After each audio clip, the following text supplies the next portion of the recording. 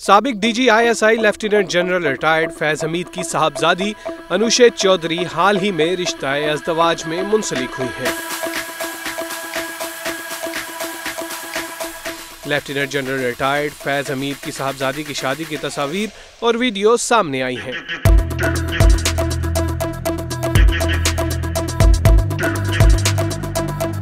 Social media पर viral video में फैज हमीद की साहबजादी को अरूसी लिबास में वालिद के हमरा स्टेज तक जाते देखा जा सकता है।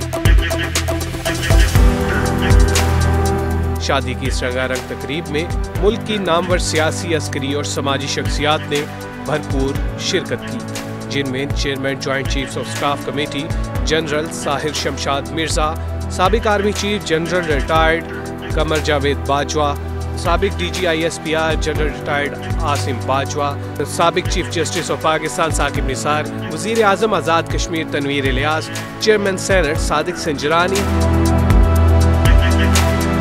PTI रहनुमाओं असद उमर फवाद चौधरी सबक वज़ीर खारजा शाह महमूद कुरैशी और दीगर नामवर शख्सियात ने शिरकत की।